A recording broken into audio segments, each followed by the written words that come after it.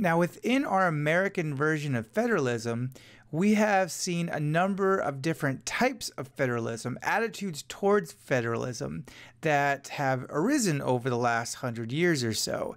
And to this day, there's still a debate over what kind of federalism we want to have. So, one of the most controversial types of federalism is cooperative federalism, the kind of federalism that came out of the Great Depression, in which our country was going through the worst time period of its history, except for maybe the Civil War. We had an unemployment rate of 25%. We had people starving. We had people committing suicide because life was just so horrible in America. And there really wasn't any way for the government to help people out. So, cooperative federalism, which is where states and federal governments work together as one government, as one body, um, came together to create what's known as the New Deal, which was a system of uh, safety nets and protections for people so that when they fall in hard times, they have a reasonable chance to recover. Things like Social Security came out of this idea of cooperative federalism, where the state and the federal work together to address different goals of the country. Then in the 1960s, there was another kind of federalism that was developed called creative federalism. In the 1960s, the president had an idea of trying to solve poverty, trying to eliminate or reduce poverty. And one of the ways he wanted to do it was to offer free health care for all people. But the Constitution didn't say he had the right to do that. He can't force that onto the states. So here's how he got creative with it to get his idea of giving healthcare to people forced onto the states, whether they liked it or not, without violating the Constitution. He did it by A, saying, if you give healthcare to poor people under what's known as Medicaid, I will help you pay for it. I will give you money for this Medicaid. If you refuse, not only will I not help you pay for Medicaid, I will also remove other monies that I've been giving to you the whole time. Now, the state still had the freedom to decide do they want Medicaid or do they not? But because no state wanted to lose money that they were getting from the federal government, they all said yes. So that's a form of creative federalism of forcing federal central government ideas onto the states but in a way that's not actually violating the Constitution because the states can still say no. Then, in the 1980s, yet another version of federalism developed called New Federalism, which was people basically getting tired of that creative federalism stuff. Yeah, Medicaid was good, but there's a lot of other things people were saying, you know what, it's too much. So, New Federalism is the idea that we still want a federal government, we still want some power there, we still want a kind of a strong Leviathan but we want to start giving a lot more power back to the states. Let's start letting the states have a lot more freedom to decide what is and is not best for them. Then, going into the 21st century, the newest, most popular kind of federalism is fiscal federalism. In fiscal federalism, the national government's main goal is to try to provide aid and other resources for state and local activities, it tries to avoid making brand new programs and just support the programs that are already in existence by taxing, spending, uh, providing help.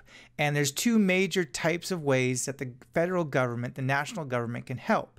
And that's called grants and aid and mandates. Now, when the federal government does this, it's not free, and there are a number of ways the national government can raise money to pay for things like grants and aid and mandates, but the primary way is through income tax, the taxes that we pay every early spring every year and some other taxes all go to the federal government to then be spent on things that benefit us. Grants and aid is by far the most common and generally the most popular way that the government can spend money on the people, on activities, agencies, actions that are already in place. Grants and aid is money and other resources that the national government provides to pay for state and local activities. And there's two types of grants. There's categorical grants, which can only be used for a specific purpose, a specific category, such as you can only use the money to build an airport, or you can only use the money to fight crime in a specific area, or you can only use this money we're going to give you for disaster relief, like when Hurricane Katrina blew over New Orleans. The other kind of grant is the more popular grant because it allows states to decide how they think the money should be spent. There might be a general category, a general uh, area such as public health or education, but then if they get a block grant and say education, as long as the money is spent in education, then it's not breaking the rules of the block grant because the block grant is money that can be spent on anything that's on the topic, whereas a categorical will be on a specific activity or a specific target. The other way that the government can spend money on the people is through a federal mandate. This is something the federal government comes out and says that the states are required to do. Sometimes the federal government will help pay for the requirement. Sometimes the federal government will not help them. It just depends on the situation. Often these are not popular because no one likes to be forced to do things. However, in the past, it has been important because it makes people do things they don't want to do that the rest of the country recognizes is important. For example, when the law said you can't discriminate, you can't have a black only school and a white only school, a lot of states said, forget it. We're not going to mix. We're not going to mix black and white. We're going to keep it like it is. So there was a mandate, and the federal government said, uh, "You start allowing blacks and whites to mix, or our soldiers will make you." Allow blacks and whites to mix. And they did send soldiers to do that because a lot of states were refusing to follow the law at first. Now you might be thinking, wait a minute, I, I thought the government can't just force things on people unless the Constitution says they can. Well, according to the Supreme Court, in a court case called McCulloch versus Maryland, the Supreme Court decided that Congress does have the power to take reasonable actions in order to preserve the general welfare. So, in this case, while the Constitution didn't specifically say that the federal government, that Congress could send troops down to enforce civil rights and equal treatment, Congress was able to make the argument that this is important for the general welfare black citizens are citizens and they deserve the same protections as everyone else.